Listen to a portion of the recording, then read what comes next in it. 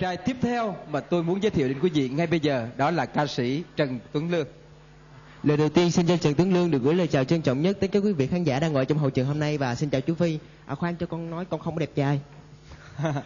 Thưa quý vị, tôi à, tôi nghe Trần Tuấn Lương gọi tôi bằng chú thì có lẽ là bản thân tôi thì cũng không bất ngờ lắm nhưng mà có lẽ quý vị cũng hơi ngạc. Có cái lý của nó là bởi vì Trần Tuấn Lương đang ở trong một cái độ tuổi à, nói sao nhỉ? Có thể nói là ở độ tuổi trẻ con cũng được mà ở ngưỡng cửa thanh niên cũng được. Nói nôm na là ở lứa tuổi 17 bẻ gãy sườn trâu à, Trần Tuấn Lương đang học lớp 11 thế nhưng mà với một cái lứa tuổi quá nhỏ như vậy mà Trần Tuấn Lương lại có một à, um, gia tài cũng khá là là là là đáng gờm đấy trong cái con đường âm nhạc của mình. Thì thưa quý vị, lúc năm 16 tuổi thì ờ, Trần Tuấn Lương bước vào con đường âm nhạc để giới thiệu đến ờ, một cái bài hát ờ, một ca khúc rất là hit, đó là phố thiệp hồng. Trần Tuấn Lương may mắn từ cái bài hát này đã nhận được sự yêu mến rất là nồng nhiệt của khán giả trẻ. Rồi tiếp sau đó là cái ca khúc khoảng khắc lại đưa Trần Tuấn Lương đến gần hơn với khán giả nữa. Bạn có thể nói nhiều hơn một chút về hai bài hát thành công này. À, vâng, à, thưa chú Phi và các bạn khán giả thì à, Trần Tuấn Lương bước vào nghề năm 16 tuổi và đến bây giờ vẫn là 16 chứ chưa có 17 à. Chưa 17, vẫn à, vẫn 16. Dạ, vẫn là 16 và về ca khúc Phố Thiệp Hồng thì là một ca khúc mở đầu cho Trần Tuấn Lương bước vào nghề này. À, ca khúc này được ba của Trần Tuấn Lương là nhạc sĩ Thành Quang sáng tác và may mắn khi Trần Tuấn Lương à, ra mắt cái ca khúc này vào tháng 1 thì nhận được sự ủng hộ của một số quý vị khán giả và rất mừng à, vì đây chỉ là ca khúc đầu tiên của mình thôi mà Trần Tuấn Lương lại nhận được sự ủng hộ của các vị khán giả và nhất là các vị khán giả ở Long An thì Trần Tuấn Lương rất là cảm ơn và cũng hy vọng rằng đến với chương trình hôm nay Trần Tuấn Lương sẽ gửi đến tất cả các quý vị ngồi ở đây nhiều hơn nữa những tình cảm của Lương dành cho quý vị có được không ạ? À? Quý vị thấy ờ, chàng trai 16 tuổi ờ, nói năng rất là lưu loát. Um, tôi hỏi bạn ngay lúc này đây thì uh, giữa con đường âm nhạc với rất nhiều những thành công như vậy. Thế rồi chuyện học hành nó nữa nó cũng tốn rất là nhiều thời gian.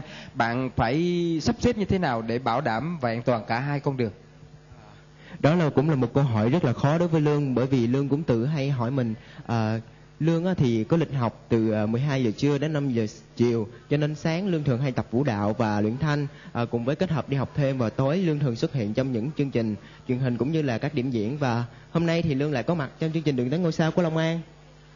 Thưa quý vị à, có lẽ là với cách trả lời lưu loát như thế này quý vị đã yên tâm là bởi vì chàng trai này sẽ rất là nghiêm túc ở cả hai con đường âm nhạc cũng như là chuyện học hành nhưng mà chúng ta thì đang gặp gỡ Trần Tuấn Lương với vai trò là một ca sĩ. Có nghĩa là lúc này đây quý vị đang muốn xem Trần Tuấn Lương uh, sống như thế nào trên sân khấu và hát hết mình như thế nào trên sân khấu. Thì bây giờ tôi trả Trần Tuấn Lương về với uh, sân khấu đường tới ngôi sao. Bạn chọn bài hát nào đầu tiên trong phần biểu diễn của mình?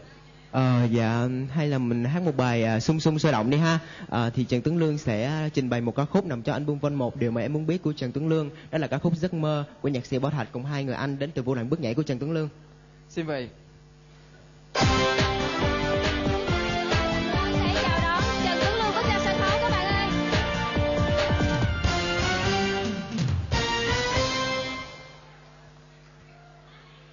Lần đầu tiên xin cho Trần Tuấn Lương được gửi lời chào trân trọng nhất đến các bạn ở đây ạ. À. Cảm ơn các bạn rất là nhiều ạ. À.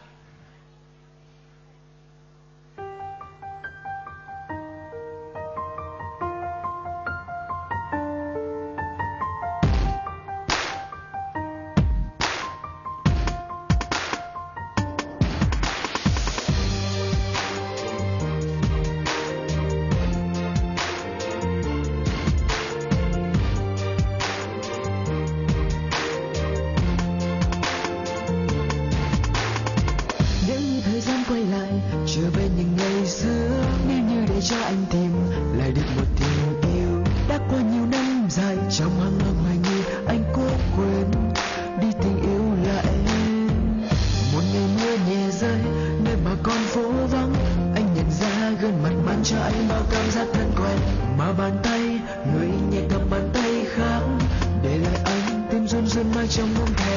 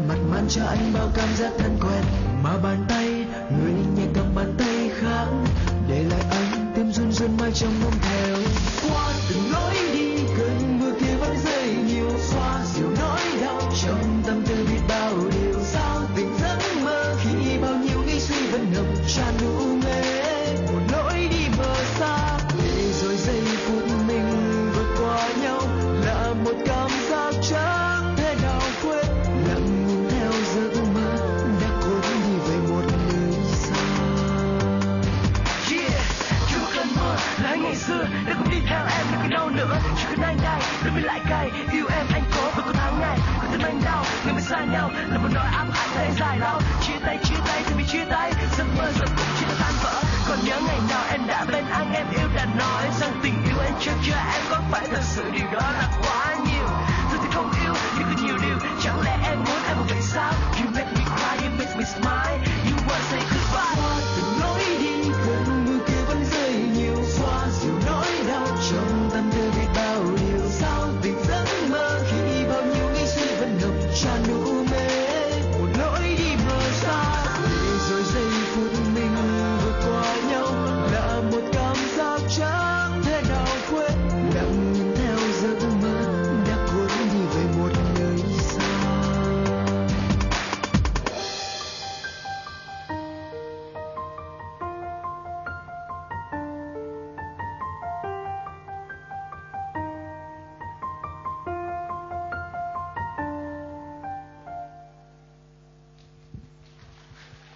alo uh, xin cảm ơn những chập pháo tay của quý vị khán giả rất là nhiều ạ à.